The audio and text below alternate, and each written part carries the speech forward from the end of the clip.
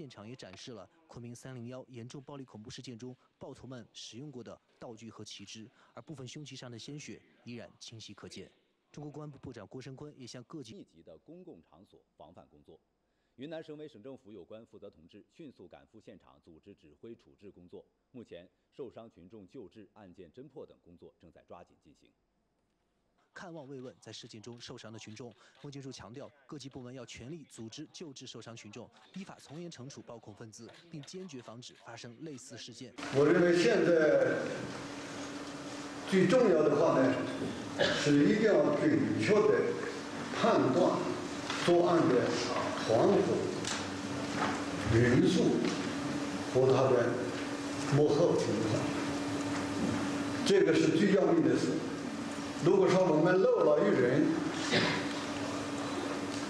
留下了啊其他